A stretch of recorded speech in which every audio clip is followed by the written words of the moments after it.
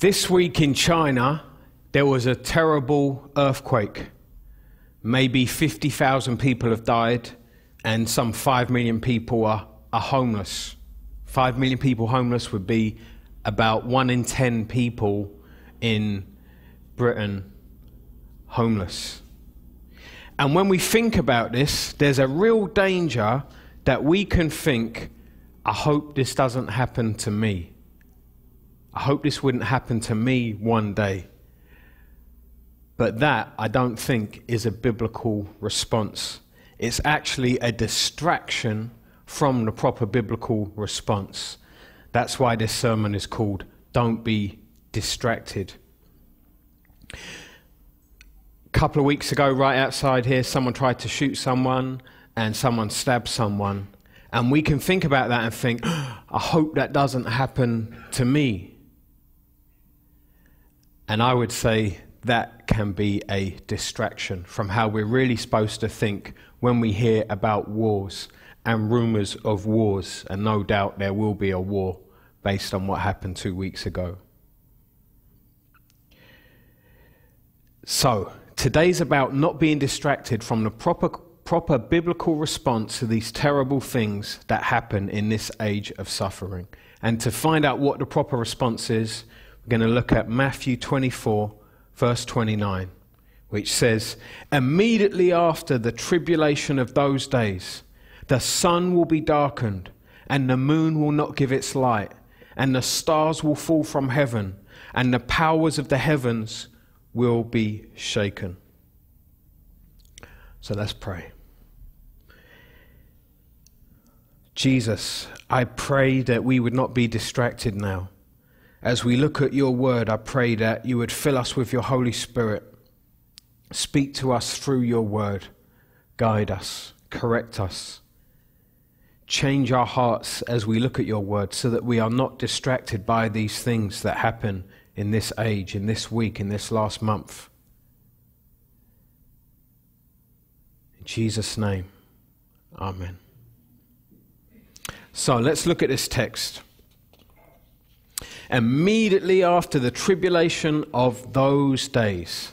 Now, to understand this, open up your Bible because we've been in Matthew 24 for quite a few weeks, and so you want to make sure you're getting how this chapter pans out. Matthew 24, starting at verse 4 and going all the way through to verse 28, I believe is describing the last days. Well, really, up to verse 26. Because verse 27 actually talks about Jesus coming. So that whole period there describes the last days. And we've seen how the last days are the time in between Jesus' first coming and Jesus' second coming, which is sometimes called the inter advent period. And during that time, Jesus says there's going to be spiritual deception, there's going to be persecution of Christians, there's going to be wars, there's going to be earthquakes, and there's going to be famines. And most of these verses describe these things in very general terms, in very generic terms that you can't really tie to one specific place or one specific time. And you see these things happen in the first century, the second century, the third century, and even now. And you see them happen in different countries. So Jesus talks in very vague terms that seems to just describe the general characteristics of these last days.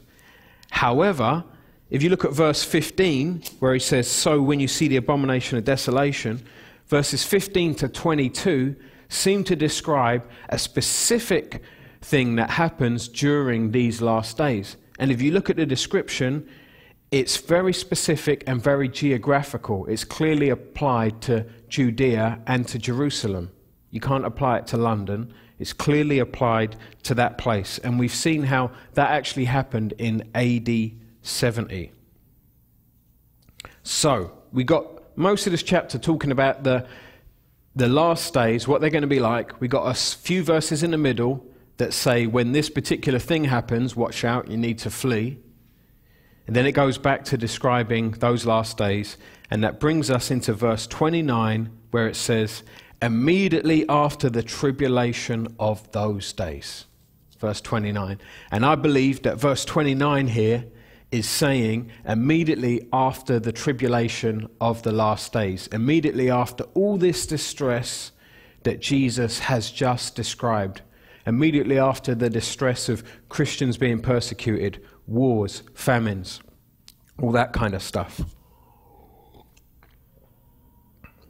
And the word there for tribulation, as you probably worked out, is the Greek word thlipsis, which was used back in verse 9 to speak of persecution of Christians, and was used in verse 21 not to speak of persecution of Christians, but to speak of the war between the uh, Romans and the Jews, and there it was called Great Tribulation. And now in verse 29, I believe it's talking about the general distress of this age. I'm not going to spend more time on that. If you want to find out more, I'm writing a very large paper on it at the moment, 7,000 word paper. If you want to read that when it's done, you can by all means. But we're not going to look at that further today. The point I want to make is that the present age, this present age of distress, will come to an end. The distress we're living in at the moment with earthquakes, famines, persecution, apostasy, wars, even wars on the street, will come to an end one day. That's good news, isn't it? And Jesus says, immediately after the tribulation of those days, the sun will be darkened, and the moon will not give its light, and the stars will fall from heaven, and the powers of the heavens will be shaken. Now, if you was a Jew living in Jesus' time, if you was one of the disciples hearing this, what would you think of? What would it mean to you? Well, it's language from the Old Testament. It's language that's used in Isaiah, it's used in Ezekiel, and it's used in Joel. And I'll give you one example. God uses this when he talks about the destruction of Babylon in the 6th century BC. Isaiah 13:1. Now this is prophesied in the 7th century and it's about something that's going to happen in the 6th century BC. The oracle concerning Babylon. Then verse 3. I have summoned my mighty men to execute my anger. Verse 9. Behold, the day of the Lord comes, cruel with wrath and fierce anger, to make the land a desolation and to destroy its sinners from it. For the stars of the heavens and their constellations will not give their light. The sun will be dark at its rising, and the moon will not shed its light. I will punish the world for its evil, and the wicked for their iniquity. And then verse 17 Behold, I am stirring up the Medes against them, who have no regard for silver and do not delight in gold. Their bows will slaughter their young men. They will have no mercy on the fruit of the womb. Their eyes will not pity children. And Babylon, the glory of kingdoms, the splendor and pomp of the Chaldeans, will be like Sodom and Gomorrah when God overthrew them. So the disciples in Jesus' day would have grown up hearing this passage. And in this passage in verse 10, it talks about stars of the heavens and their constellations will not give their light. The sun will be dark at its rising, and the moon will not shed its light. So they'll be familiar with this terminology, which we will call cosmic disturbances, strange things happening with the sun, moon, and stars. And when they hear this terminology, they're going to think of passages like this. They're going to think about war, death, slaughter, and judgment. That's what this passage is all about. It's about the Babylonians being fought against by their enemies and being slaughtered. It's about horrific war. So when Jesus says immediately after the tribulation of those days, the sun will be darkened and the moon will not give its light, and the stars will fall from heaven, and the powers of the heavens will be shaken, the first thing probably it's going to pop into their mind is war and slaughter and destruction and judgment. But that's not all they're going to think of, and this is where it gets a bit tricky. You really got to pay attention for this. Look at verse 1. It says, The oracle concerning Babylon. So who is this about? Babylon. Now look at verse 10. You've got cosmic disturbances. It says, For the stars of the heaven and their constellations will not give their light.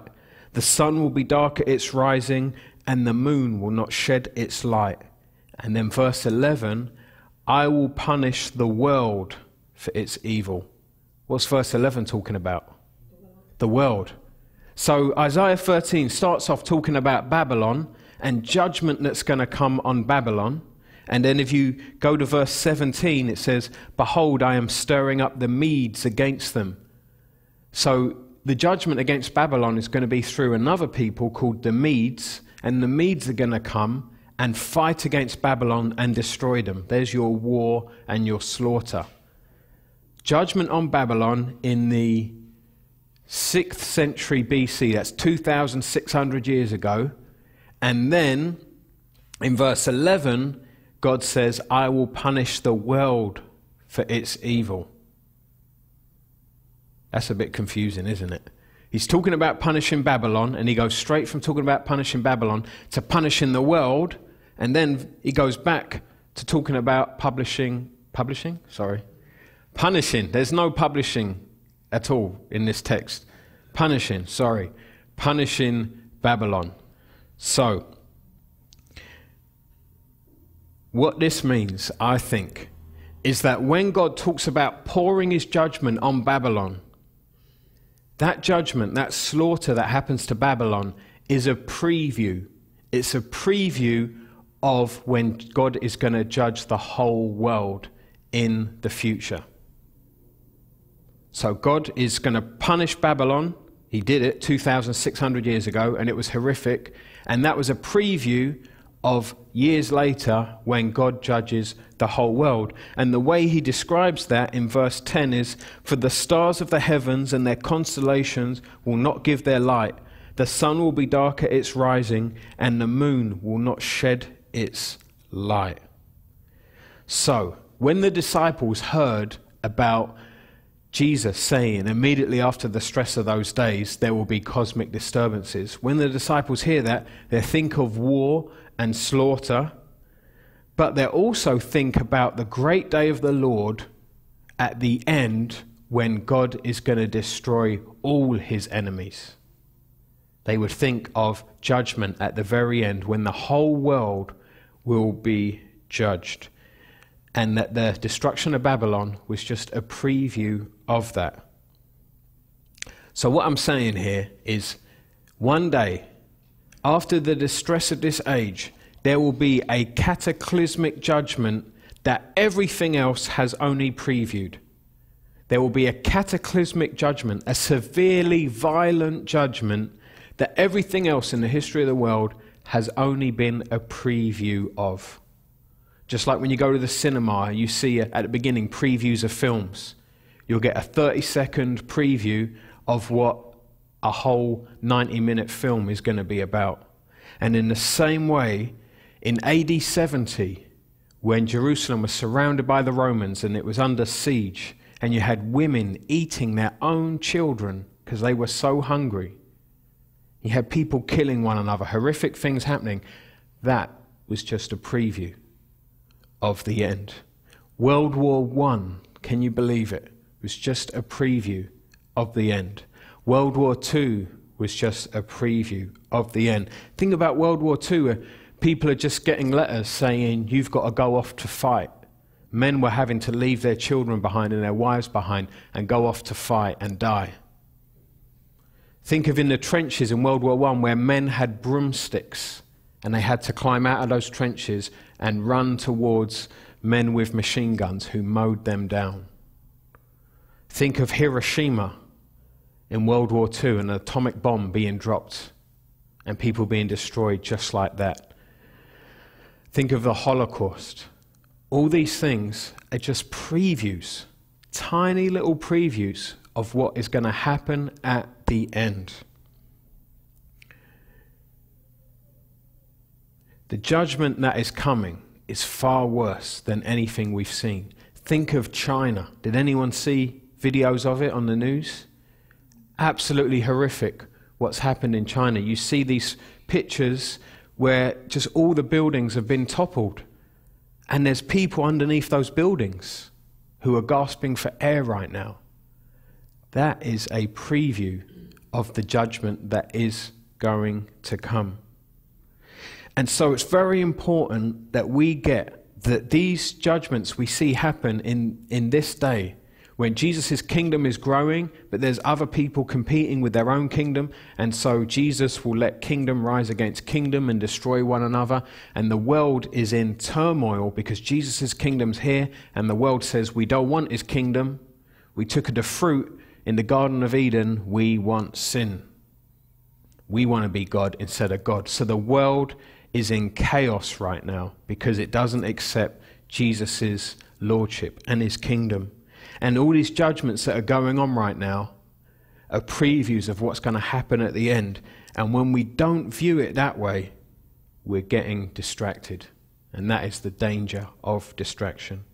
For example, we hear about China and we think, I hope that doesn't happen to us. I hope that one day we don't have a terrible earthquake in London. Soon as we think like that, we're getting distracted. We're not viewing what's happened in a biblical way. Instead, we're supposed to think what's happened in China is a preview of something much worse that is coming upon the whole world. And so, our attitude, first off, should be repentance.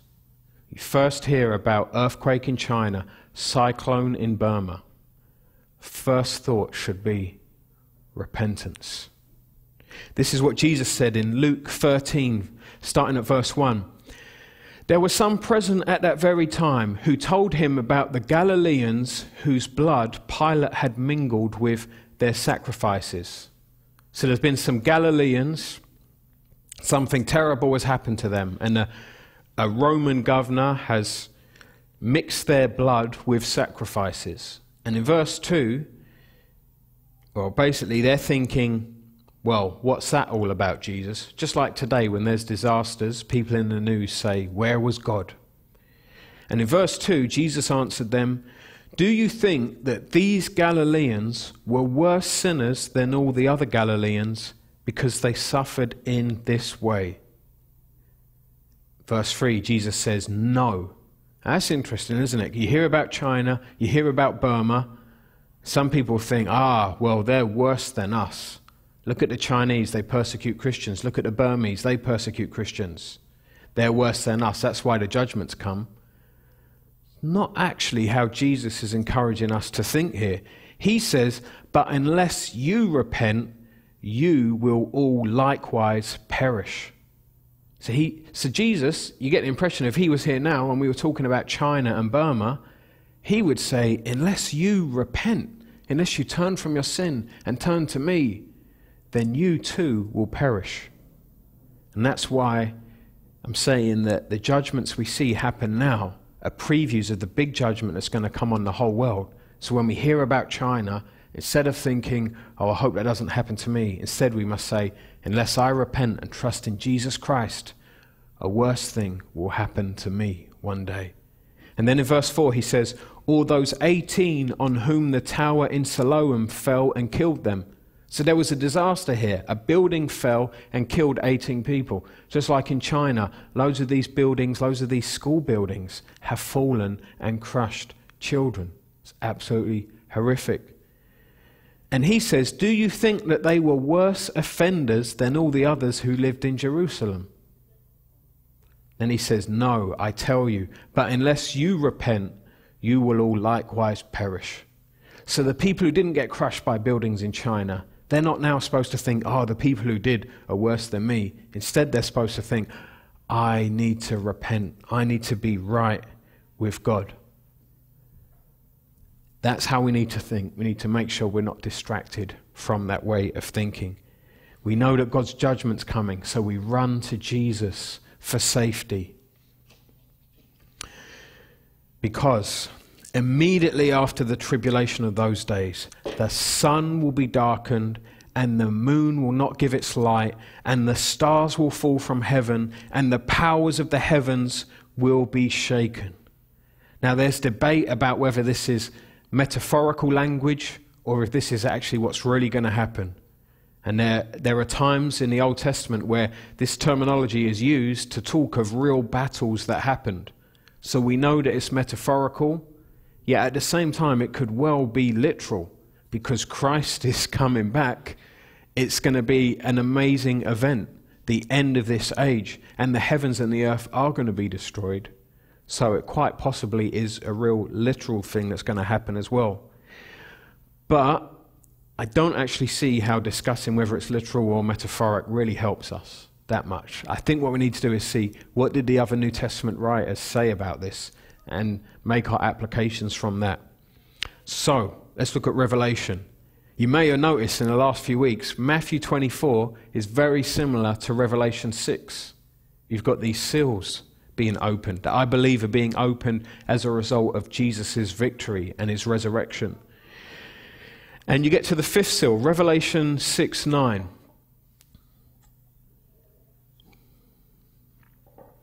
When he opened the fifth seal, I saw, and, and remember, before this, you've had famine, you've had war, you've had death, just like in Matthew 24. And then it says, when he opened the fifth seal, I saw under the altar the souls of those who had been slain for the word of God and for the witness they had borne. So, right here, you've got martyrs, Christians who have died. Just like Christians who have been killed in China for being Christians, and in Burma, and in Turkey, and many other places. Verse 10 They cried out with a loud voice, O sovereign Lord, holy and true, how long before you will judge and avenge our blood on those who dwell on the earth? So they know that one day God is going to avenge their blood. And they say, How long, Lord? Then, verse 12, it seems in response to what the martyrs have asked. When he opened the sixth seal, I looked, and behold, there was a great earthquake, and the sun became black as sackcloth, and the full moon became like blood, and the stars of the sky fell to the earth as the fig tree sheds its winter fruit when shaken by a gale. The sky vanished like a scroll that is being rolled up, and every mountain and island was removed from its place. So here we have Christian martyrs crying out to God, saying, When will you avenge our blood? And then, in what appears to be response to that, you get these cosmic disturbances. And these cosmic disturbances are a sign that the people who have persecuted Christians will be judged. Because persecuting God's messengers is the same as persecuting God. Remember when Saul was on the road to Damascus in Acts 9 4? Jesus says, Saul, Saul, why do you persecute me?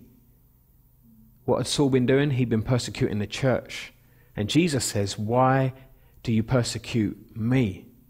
And many times in Scripture, we see that how you treat Jesus' messengers is how you treat Jesus. And rejecting God's messengers is the same as rejecting God. And we see a similar thought in Paul's writings in 2 Thessalonians 1 6. He says, God considers it just to repay with affliction those who afflict you. Here it's from the word thlipsis again affliction, those who afflict you. And to grant relief to you who are afflicted as well as to us when the Lord Jesus is revealed from heaven with his mighty angels in flaming fire, inflicting vengeance on those who do not know God and on those who do not obey the gospel of our Lord Jesus. This is talking about when Jesus comes back at the end of the age, and notice he's linking two things up there. He starts off in verse 6 talking about God putting vengeance on the people who've been bad to the Christians, but then in verse 8, he says, Those who do not obey the gospel of our Lord Jesus Christ. So, how people respond to Christians is linked with how they respond to the gospel of the Lord Jesus Christ. So, the point here is that God will punish those who do not obey his gospel. That can happen in the way that people refuse to repent when they read the Bible. It can also happen in the way that people, when a Christian comes to them and gives them the gospel, they make fun of them, they ignore them, they put them in prison, they kill them. They're rejecting God's gospel. They're not obeying his gospel. His gospel is the good news that Jesus Christ died and rose again.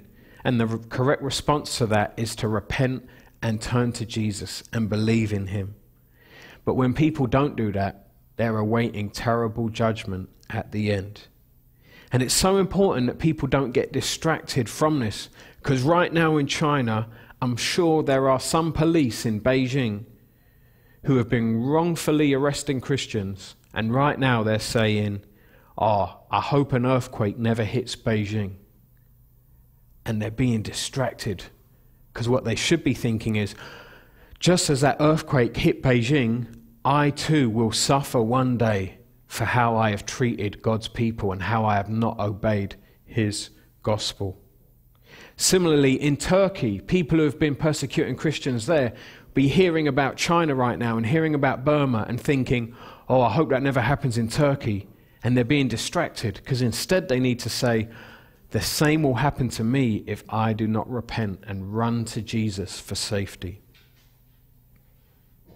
And in the same way, there's people in England who have rejected the gospel and maybe have even laughed at you. And there's people in Africa who maybe have laughed at you when you told them the gospel. And they now hear about this earthquake and they think, I hope that doesn't happen to me one day. But instead, they need to think, that will happen to me one day if I don't turn to Jesus. And on that day, there will be cosmic disturbances and no one will be able to hide. As it says in Revelation, following on from that text, starting at verse 14.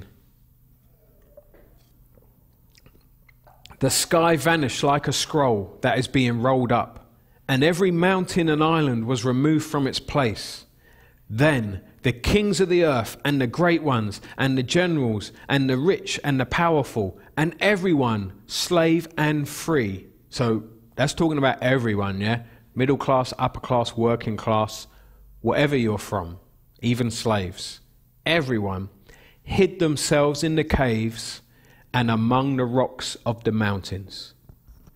Call into the mountains and rocks, fall on us and hide us from the face of him who is seated on the throne and from the wrath of the Lamb, for the great day of their wrath has come, and who can stand?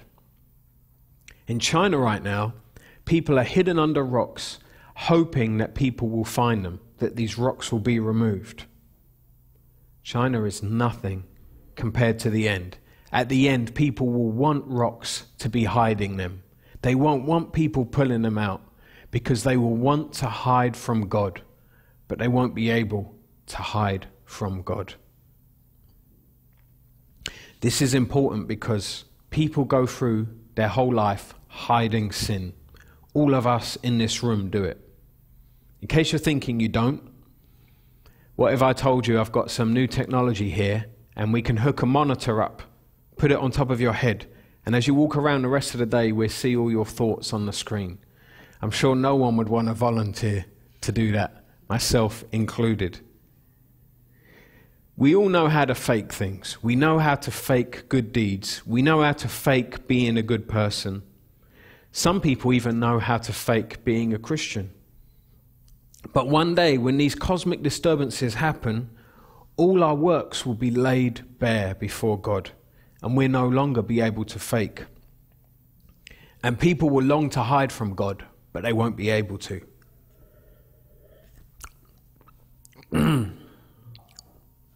As Peter says, 2 Peter 3:10, but the day of the Lord will come like a thief. And then the heavens will pass away with a roar, and the heavenly bodies will be burned up and dissolved, and the earth and the works that are done on it will be exposed. So one day, everything we've done will be exposed. Everything we've done will be exposed for what it truly is. Thanks.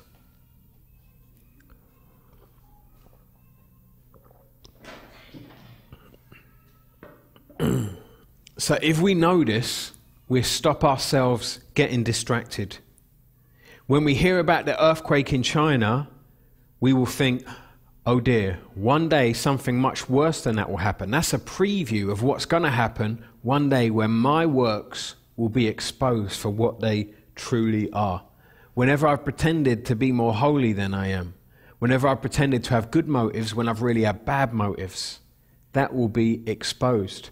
Anything I've done that I've made out I was doing for God, but really I was doing it for myself, that will be exposed. And this will cause us to repent and seek Jesus' forgiveness and run to Him for safety. This is the good news. On the one hand, it's terrifying. One day all our works will be exposed. On the other hand, we can run to Jesus, ask for forgiveness, and be forgiven by Him and be clothed with His righteousness. So that on that day when everything's exposed, you can stand before God knowing that you have Christ's righteousness, so that God will say, Not guilty. That is good news. That is really good news. That means we don't have to fear these cosmic disturbances that happen at the end. We don't have to fear that if we have Christ. And knowing that, we will then seek to work for Christ out of gratitude of his salvation, to prepare ourselves for the wedding of the Lamb to clothe ourselves with good deeds, having already known that we are clothed in his righteousness, and to do everything centered on Christ. Paul says in 1 Corinthians 3:11, "For no one can lay a foundation other than that which is laid, which is Jesus Christ." Now, if anyone builds on a foundation with gold, silver, precious stones, wood, hay, straw, each one's work will become manifest, for the day will disclose it. Because it will be revealed by fire, and the fire will test what sort of work each one has done. If the work that anyone has built on the foundation survives, he will receive a reward. If anyone's work is burned up, he will suffer loss, though he himself will be saved, but only as through fire. When an earthquake hits your town and everything is destroyed, your house is destroyed, you have nothing left. You may have seen these poor people on the videos walking with all the other refugees now, just walking, hoping to find some place they can live. They have nothing left. Don't even have a bowl to put food in, let alone food. Everything has been stripped from their life. This should be a preview to us that one day, when Jesus returns, we will stand bare before God. Anything we've built up in our life that's not based on Christ won't be there anymore. All that will remain is anything that was built on the foundation of Jesus Christ. There must be so many things we've built up in our lives that are just going to come to nothing on that day. On that day, only Christ's kingdom will be left standing. That's what Matthew's all about Christ's kingdom. And on that day, only Christ's kingdom is going to be left standing. And there will even, if you look at verse 15, there will be people who are saved, Christians, but their work will be burned up. It says, if anyone's work is burned up, he will suffer loss, though he himself will be saved, but only as through fire. That could be talking about us. God may save us because of Christ's righteousness, because of the work Christ did on the cross. However, we may find that almost everything we did in our life wasn't really based on Christ. We may find that the job we did, we just did it for ourselves. We didn't do it to glorify Christ. We may find that we only did evangelism to try and impress people about how our lives had changed and how much better a person we were we may find that the degree we did was just to glorify ourselves rather than to glorify Christ. We may find that the Bible studies we went to was just to show off and to learn more rather than to obey Christ better. We may find that the way we worship God was just to have fun and not actually to glorify Christ. And so we must not let ourselves be distracted. And when we hear about these earthquakes, we must take this as a warning and know that one day this will happen in an even greater scale, and only Christ's kingdom will be left standing.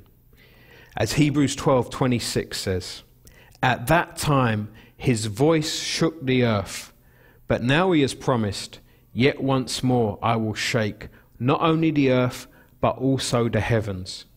This phrase, yet once more, indicates the removal of things that are shaken, that is, things that have been made, in order that the things that cannot be shaken may remain.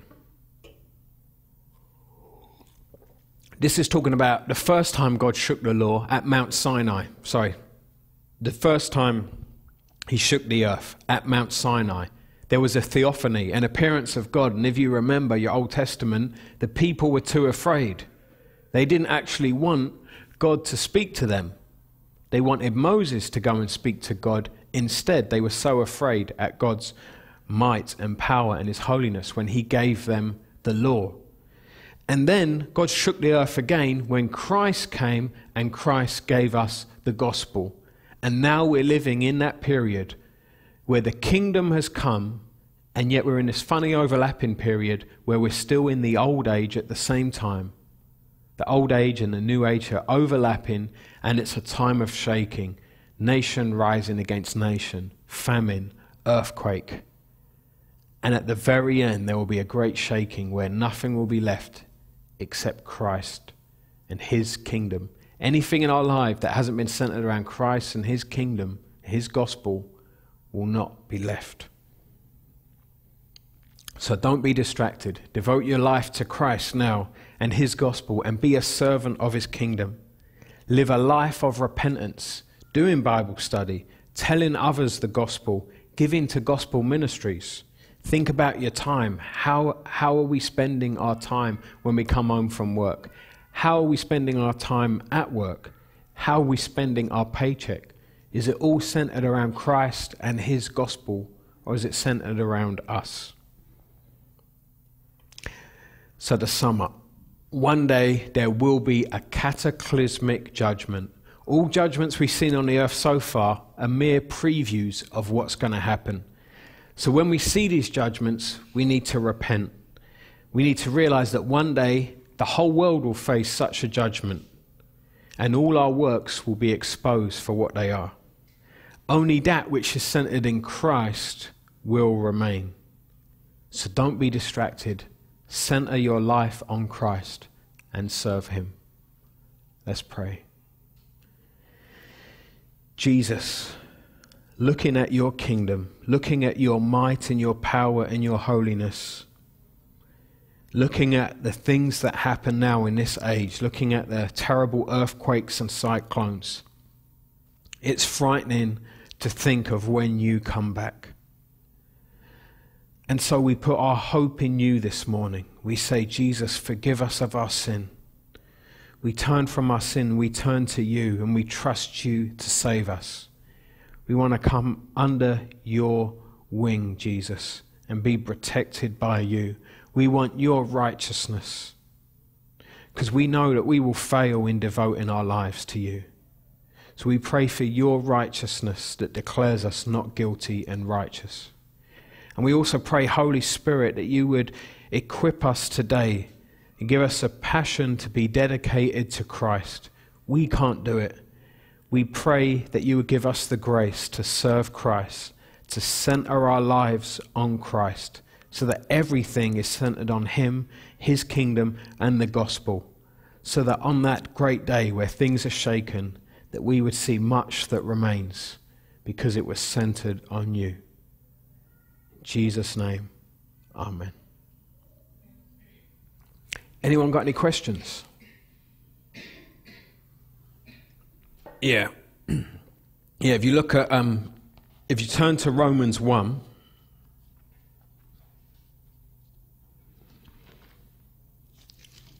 so the question is are these natural disasters God's wrath. God's wrath is God's anger against sin.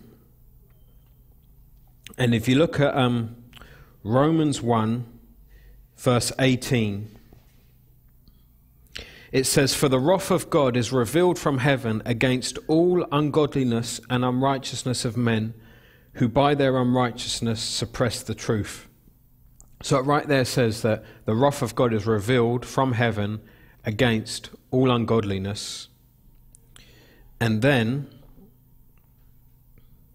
if you go down to verse 24, therefore God gave them up in the lusts of their hearts to impurity so, so right there, you've got Paul saying that God's wrath is revealed from heaven against ungodliness, and a manifestation of this is God giving people up to their own lusts.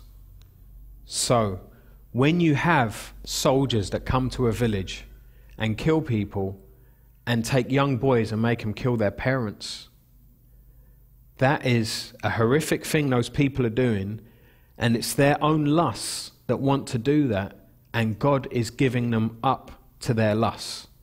They want to live a world without God being their king, and God gives them up to that lust and lets them enjoy that lust. Um, obviously, in this text here, it talks about, goes on to talk about homosexuality. But then it also in verse 29 says, They are filled with all manner of unrighteousness, evil, covetousness, malice. They are full of envy, murder, strife, deceit, maliciousness. It goes on. So it seems to me that it wouldn't just apply to homosexuality, but it would apply to a number of things. And similarly with earthquakes, that would be God's judgment because the world now is at loggerheads with God. Because Christ's kingdom has broken in, the world is in bondage, and we see that in Romans as well about the world being in bondage and waiting for its redemption. So it's all because the world is in sin and is not right with God. That doesn't mean that when soldiers come to a village and kill people, God is to blame. The Bible is clear the people are to blame. And when the earthquakes happen, again, it's not God is to blame, we are to blame. Because we brought sin into the world at the Garden of Eden. We are the ones who actually set this in motion by choosing to reject our king and say we would ro- run things in Eden, and that is why there are earthquakes. So it all comes down to man. It's our fault, and these things are judgment of God. At the same time, God is so loving that He then sends His Son into the, to the earth and pours out judgment on His own Son, so that His people, the ones who turn to Jesus Christ, would not have to face God's wrath. Exactly. We don't for one second think, oh, we are better than China. Instead, we're like, we are sinners. We're in Adam. We need to repent and we need to get in Christ so that we are safe from the wrath. We're no better than China. England has its own sins. Yeah, and so I think when a non Christian says to you, Oh, why did God let this cyclone happen? It's a good opportunity to say, Well, why did God let that cyclone happen? There must be a reason. Why would a good God let something horrific like that happen? And then take it down to an easier to understand human level. Why would the Prime Minister of Britain send thousands of soldiers to another country to start shooting people with machine guns. Why would that happen? That, that normally only happens, depending on what country you're in, it normally only happens if someone has done something evil and you need to now pour judgment out on evil. So think of World War II. I don't think many people would have a problem with the Prime Minister sending British troops over to fight Hitler. Hitler was doing something evil. Now, someone could say, why the British firing machine guns? That's terrible. Why does the Prime Minister let them do that? Well, he's doing that because he needs to take a stand against evil. And similarly, God takes a stand against evil. And he sees that the world is evil. And so he allows these cyclones to happen and these earthquakes to happen because there's sin in the world. And he's pouring his judgment out and he's saying, This is a preview it's going to be much worse. You need to repent. People in China, people in the whole world, look at what just happened in China. This is a preview. This shows you the world is not right with God. You need to repent because one day it's going to be worse. And he's delaying things because he doesn't want any of his people to perish. He wants us to repent. So there's actually great love in the cyclone and in China because God could have just said last week, enough, the whole world is destroyed. And instead, he says, I'm going to give you a foretaste of what's going to happen. There's still time. I want you to repent. Yeah, exactly. And I think that's, that's the essence of Matthew 24. You know, if, if you remember back a few weeks ago, when does the end come? When, when the gospel it says in verse 14, and this gospel of the kingdom will be proclaimed throughout the whole world as a testimony to all nations, and then the end will come. So the, the timing of the end is seriously linked up with the gospel being preached to all the nations. So I look at us and I think, why has God put us in this nation which is wealthy, that doesn't have persecution, knowing that the whole plan is for the gospel to go out to all the nations. God's put us in this situation to play our part in the gospel going out to all the nations. And that's what it's all about. You see the cyclone and everything, and we say, okay, we need to preach the gospel to all the nations.